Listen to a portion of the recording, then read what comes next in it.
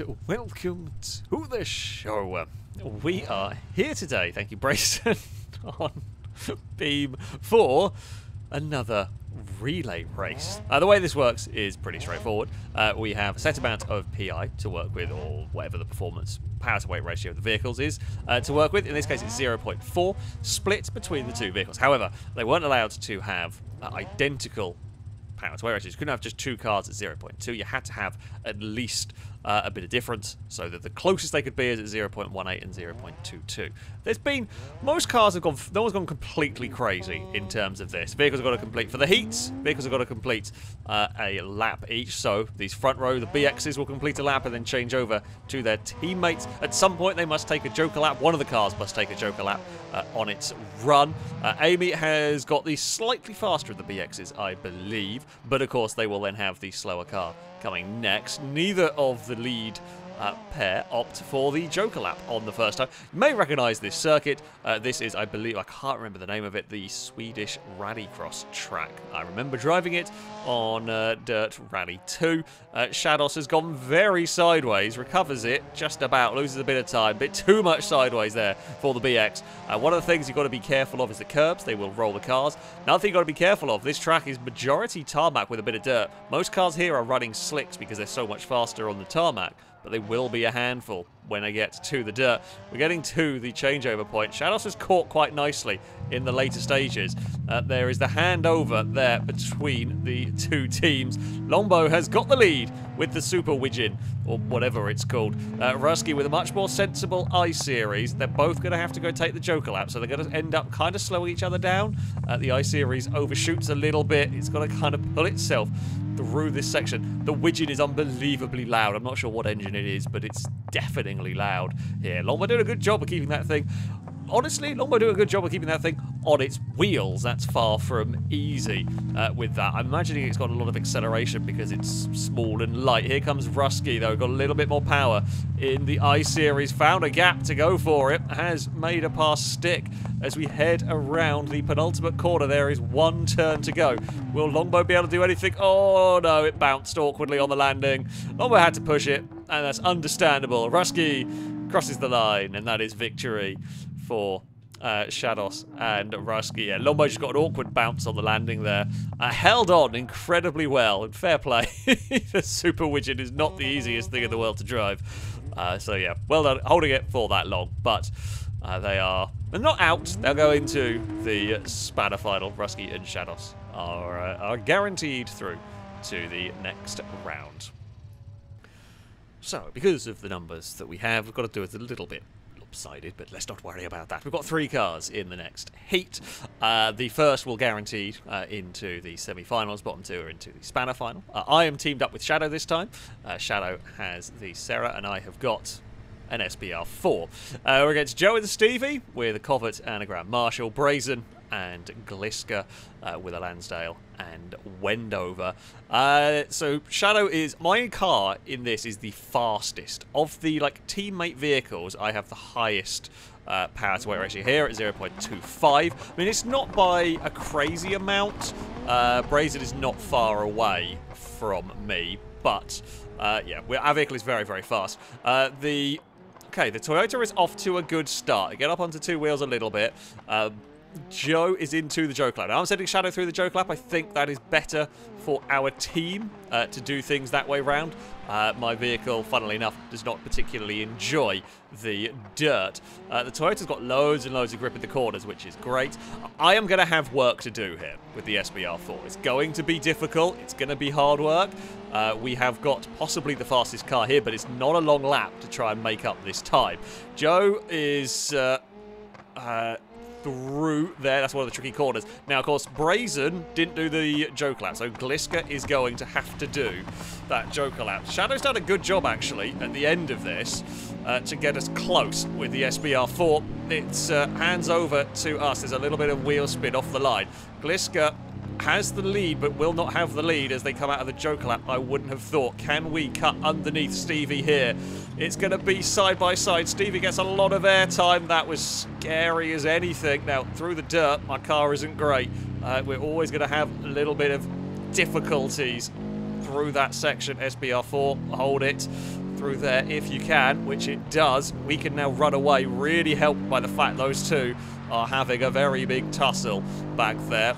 That is good news for me. Don't flip it on a curb. It's very possible with this. We head towards the final corner. As far as heats go, that was a nice smooth, that was a nice smooth heat for us. Uh, oh, Stevie, by the looks of it, may have had.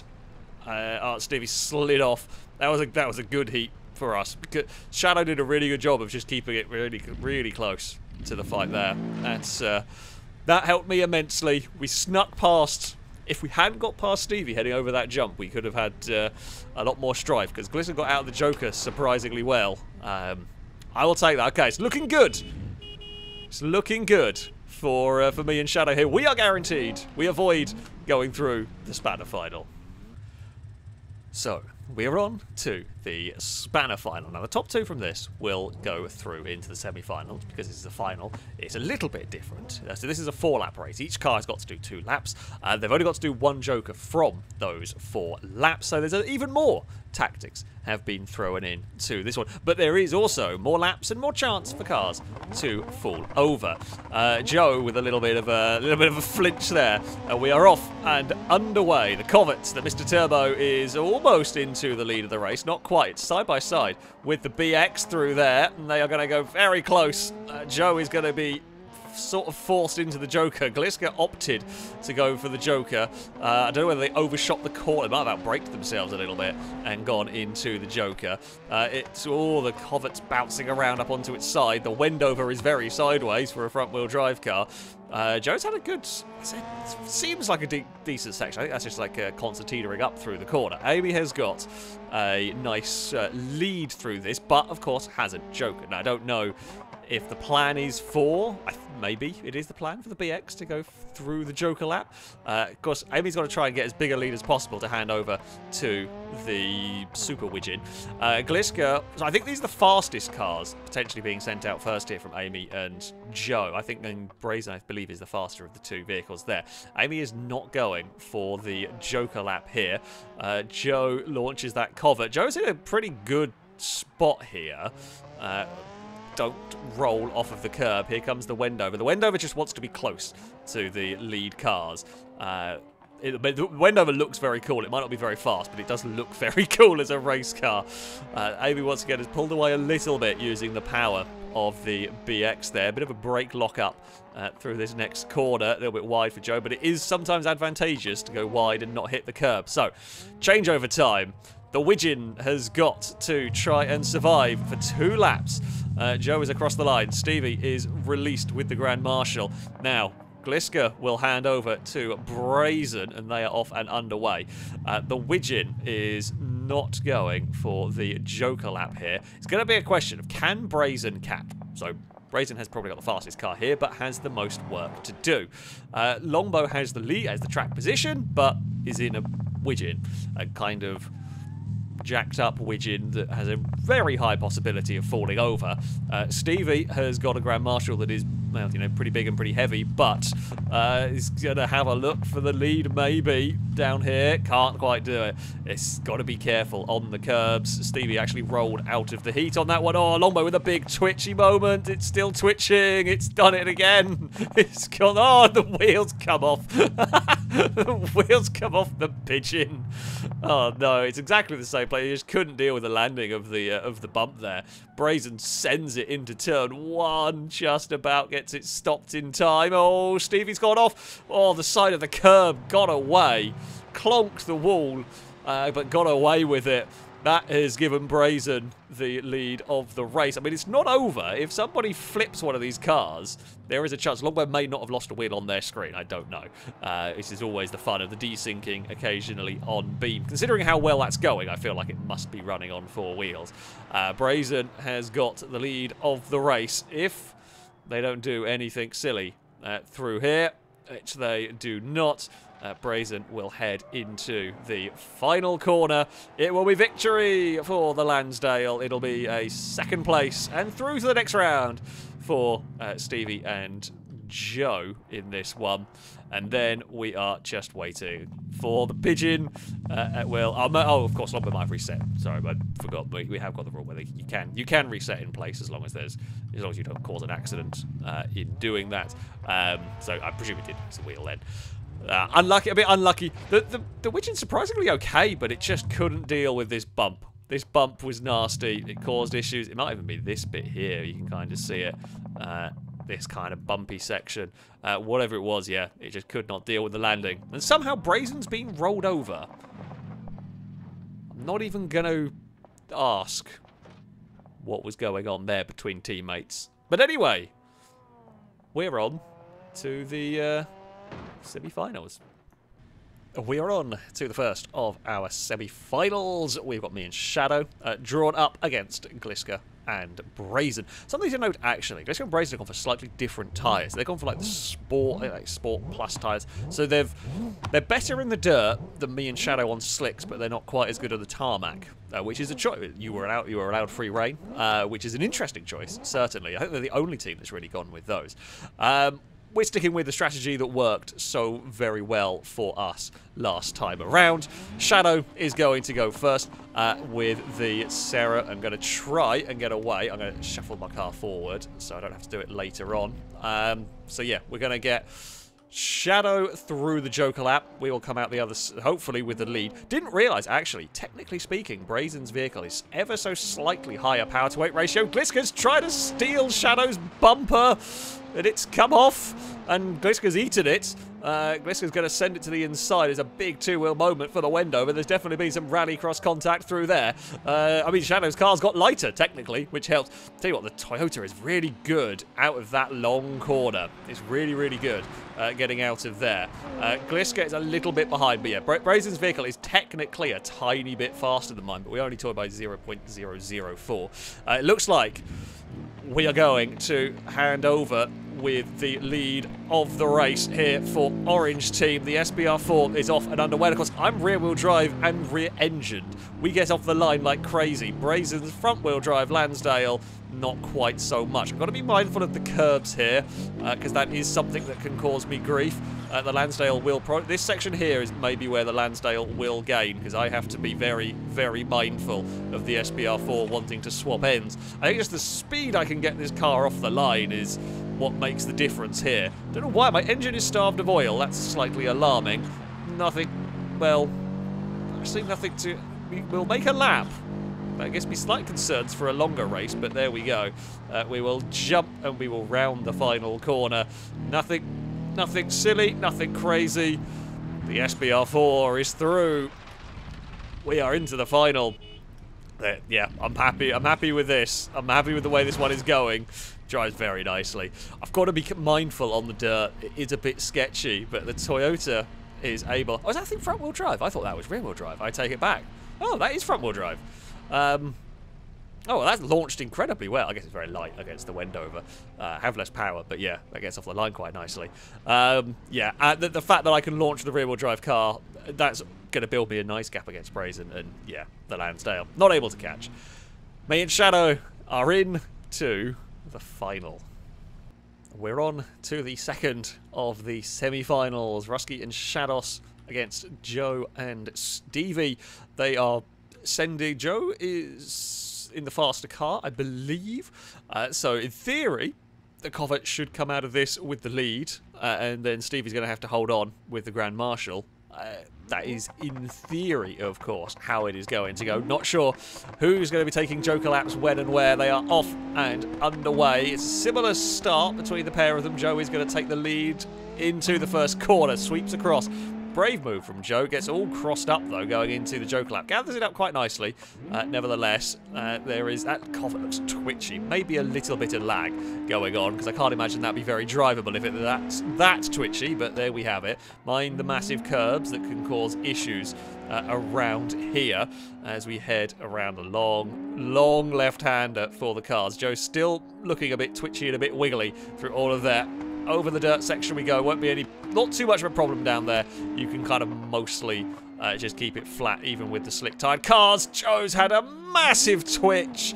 Joe is taking an adventure around uh, heading back onto the circuit. Well, I mean, Joe is going to get across the line. He's, he's going to release Stevie, but he's going to release Stevie behind uh, in this one. Joe sent it off the...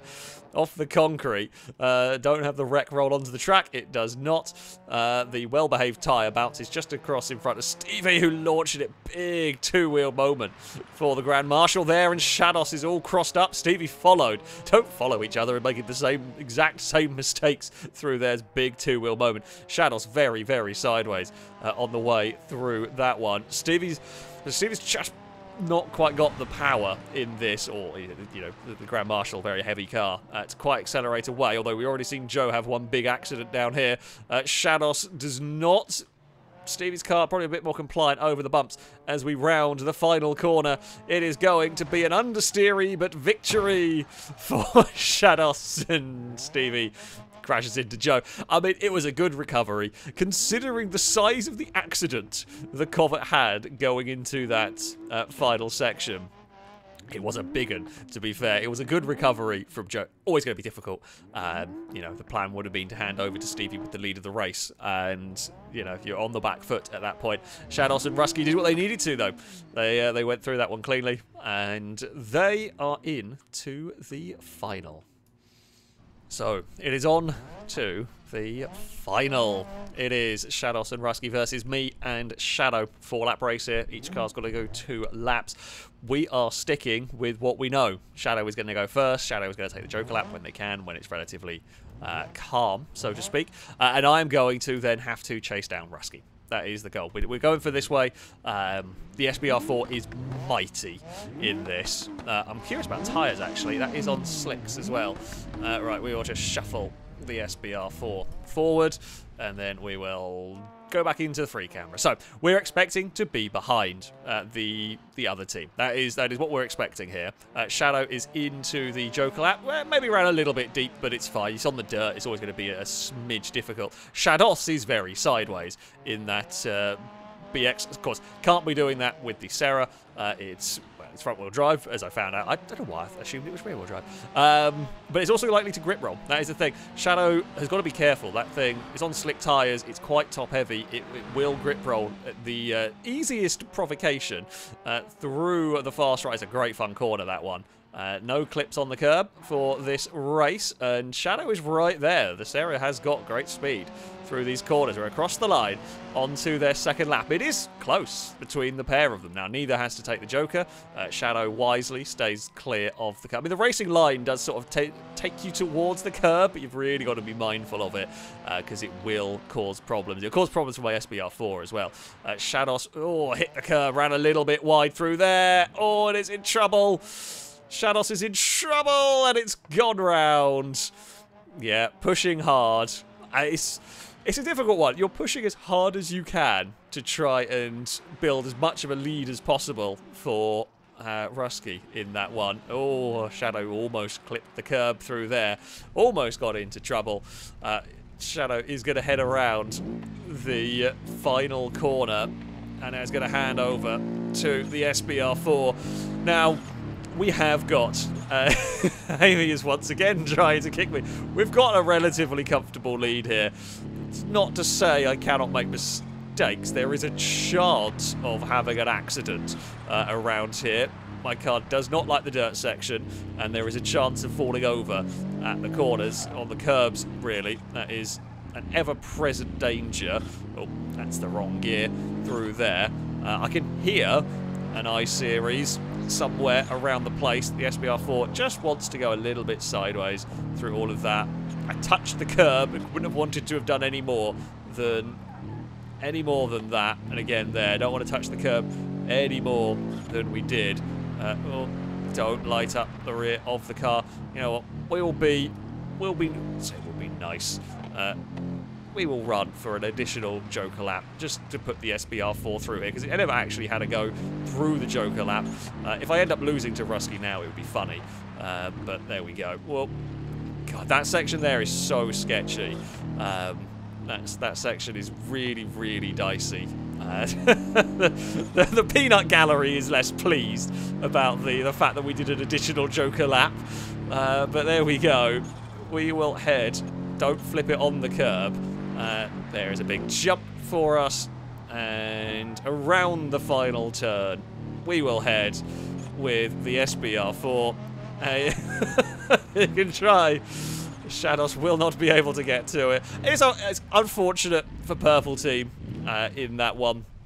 Yeah, it just clonked on the curb a little too hard, and that was what that's was what did it. Uh, the the Sarah and the SBR. I mean, these were probably the cars to beat uh, in this. The Sarah very very good, um, and minimal mistakes made. Neither of us hit curbs. Both of us could very easily fall over in this one. Uh, my if my aero falls off, my car drives terribly. Um, so. the peanut gallery has also got confused with Joe. Joe was trying to move the camera around and typing. Amazing stuff. Uh, yeah, that's uh, that is a, a rallycross relay. Uh, yeah, we had we had some very very good, some very good cars there for the orange team. Um, and we would, yeah, take the victory in that one. Unfortunate for Shadows there at the end. It is the way it goes sometimes. This is a, a very cool circuit, uh, very fun track. Um, Motorsport Playground, as ever, is excellent. That, though, is going to be it from me. Thank you all very much for watching, and until next time, uh, goodbye.